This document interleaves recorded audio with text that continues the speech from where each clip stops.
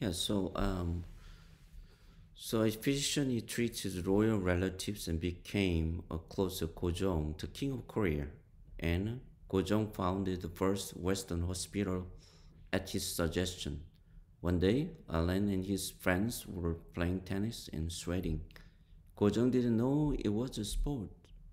Seeing that Allen and his friends were sweating, he said, Why are you why are they working and sweating themselves instead of making their servants do the work?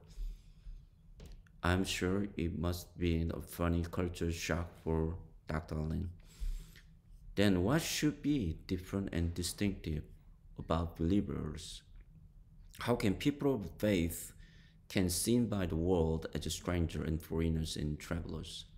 That is exactly that what uh, the Apostle Paul showed us in Malta. And that is how our Jesus lived on earth as a stranger and foreigner and traveler in this world.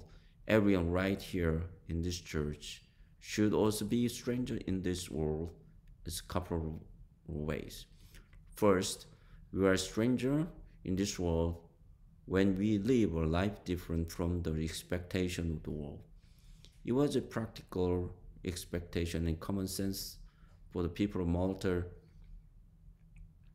that if you are bitten by snake viper, you die. And it is also their judgment that since Paul was bitten by a snake after he had or, or barely survived the storm, he must be getting punished by the God for committing a serious crime like murder.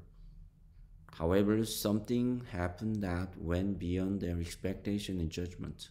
As I meditated on the words of verse 6, I could not help but feel my heart beating fast. Let's read verse 6 together.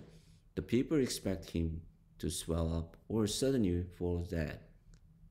But after waiting for a long time and seeing nothing unusual happen to him, they changed their minds and they said, and, and said he was God.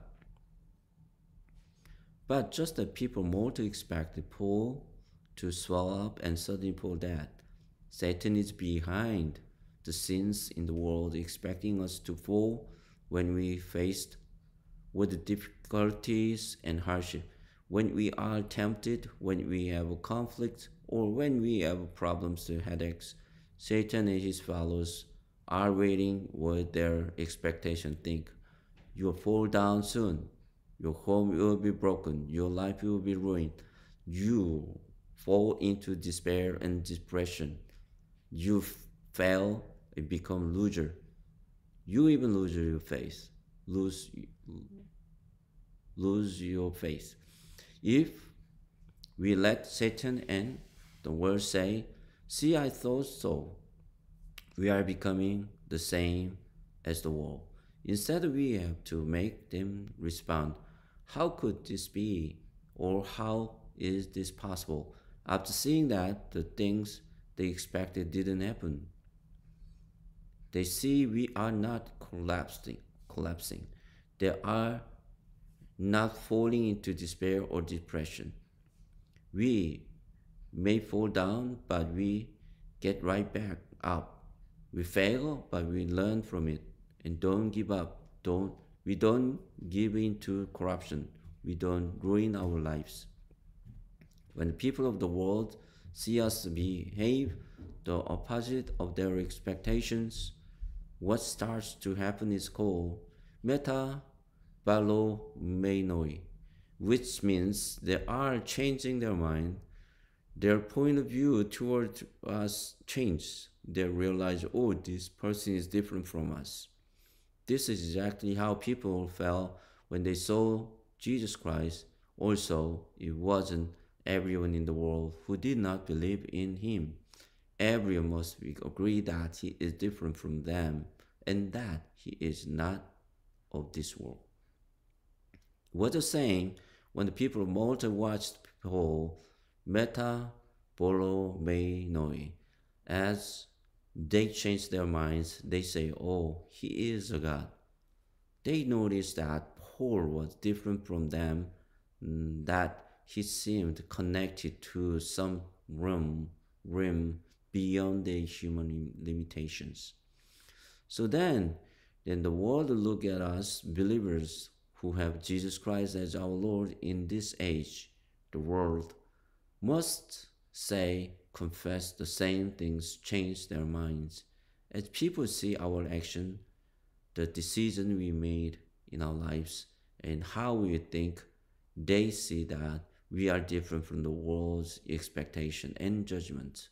The world should say we are different from them. Our actions should be different. Our response should be different. Our thinking should be different. Our decisions should be different. And our serving should be different. You may think that I'm talking about miracles. Do not think that if such miracles happen, the world would look at us and change their minds. Jesus worked so many miracles in the Bible, but how did the Jews react? Instead of accepting him as the Son of God, they killed him. That's right. What is important is our message, not miracles. What I am focusing on here is not the miraculous story of a Paul being bitten by the viper and not dying, although, of course, with the Lord's presence, such miracles could happen. The people of Malta thought if they picked up serpents, if they pick up serpents and drinks, drink any anything poisonous, it will not it it will not hurt them. But what is even more noteworthy is Paul's reaction. Even though he had he had been bitten by the viper, he just shook it off into the fire, showed no emotion, but stayed calm. He seems different to his injury by the viper. Before he experienced this miracle, Paul was already responding differently than the people of the island and of the world. Second, we are strangers in this world when we take up challenges beyond the limits of the world things. When Publius, the chief official of Malta, invited Paul and his companions to stay at his house for three days, Paul saw that Publius' father was sick with fever and dysentery, and he prayed for him, placed his hands on him, him and healed him. Watching Paul take up the challenge beyond the limits of people think with prayer. Paul Publius, the people in his house came to know that Paul was different from them. Paul relied on God, took up or challenges, and didn't shy away because his source of power is different, because his worldview and perspective are different, because he cared about Publius and his family. The illness could not be cured with his own strength, but it's, mm, it's, it is nothing to Almighty God. What is beyond the limitation to the people of the world became an opportunity for people of faith to rely on God and tap into His power. And when we give our heart to God, rely on His strength and His power, the world cannot help but think that we're different from them. In the end, it is being with the Lord, abiding in the Lord every day, is the only way that leads to power of God beyond the limits of the world. Not only supernatural work, but also for all the story of life to be filled with the love, joy, peace, patience, kindness, goodness, gentleness, self-control, and full of the power of the Holy Spirit. Brothers and sisters, I sincerely pray and hope that we will be able to live like this in this year 2022. This is what the man of God who stand firm in the middle of the world is like.